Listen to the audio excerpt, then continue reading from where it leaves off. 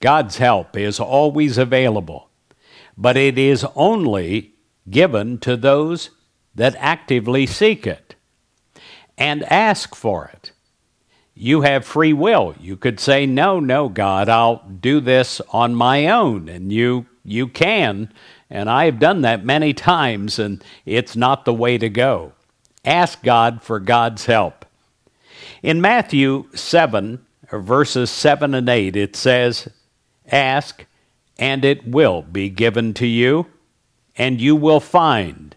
Knock, and it will be opened to you. For everyone who asks receives, and he who seeks finds, and to him who knocks it will be opened. Jesus told his disciples that they should ask God to meet their needs. But his instruction wasn't just for the disciples, it is for us too. Genuine, heartfelt prayer brings a powerful change in us and in our world.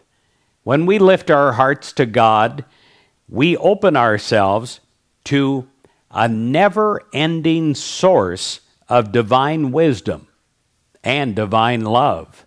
Never ending. It does not get depleted as we ask more. Some people have told me, well, I don't want to go to God about this. I'd, I'd use up my quota. well, it's nothing like that. The more you ask, the more you receive. It, it comes, and I believe as you begin to receive the little things, you'll be prepared to receive the big things also. You'll be more aware of what God can do for you. And being more aware, You'll talk to God more often and you'll ask God more often for God's help.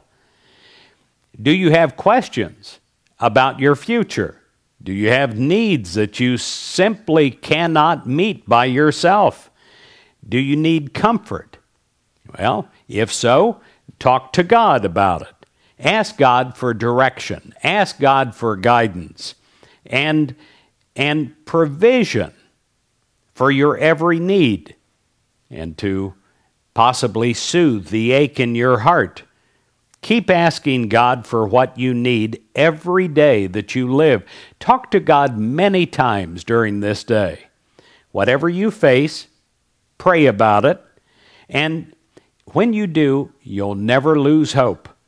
God is listening, and God is perfectly capable of answering your prayers. But we have to work with God enough to ask for God's help.